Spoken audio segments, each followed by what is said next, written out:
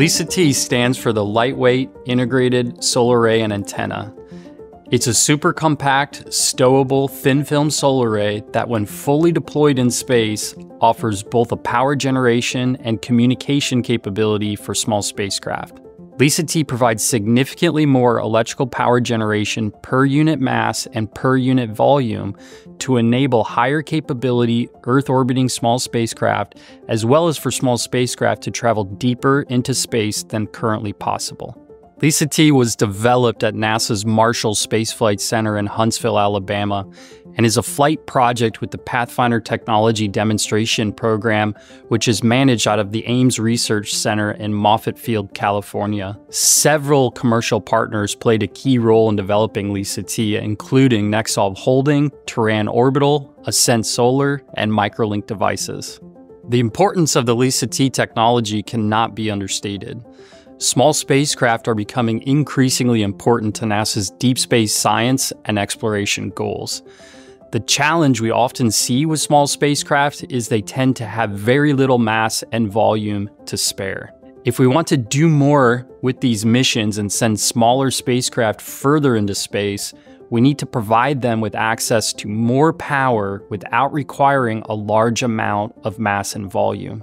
But how do you do that when space and mass is at a premium?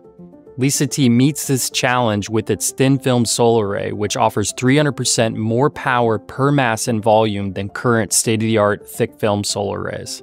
The Pathfinder Technology Demonstration Mission Number 4, LISA T's mission designator, will prove out LISA T's ability to deploy, generate power, and communicate with Earth.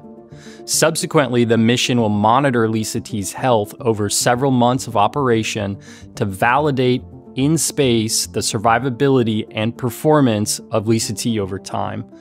This will buy down risk for future missions that may fly with the LISA T technology. LISA T will be a critical demonstration of a core technology that can be scaled and enable a host of new types of future NASA missions. After the small spacecraft is delivered to orbit, the mission will begin with a period of commissioning, which means the spacecraft carrying the LISA T payload will turn itself on, establish communications with Earth, and perform a health check to ensure all of its systems are working properly. Following this initial period, the spacecraft prepares LISA T for deployment and begins by firing the first burn mechanism to cut tie down cords and release the central booms. These booms passively deploy via stored kinetic energy. With this process, the solar arrays are pushed away from LISA T's main structure, giving it room to expand. A second burn mechanism is then activated to release each of the four solar panels, which are tightly folded atop these central booms. These panels are then actively unfolded by a shape memory alloy that is embedded on the back of the panels.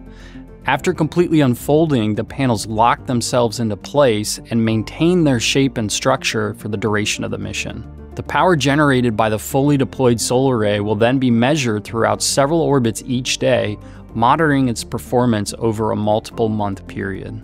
Also embedded on the LISA T payload is a novel lightweight antenna. Periodically, the antenna will be pointed to Earth and communications will be established and continually evaluated.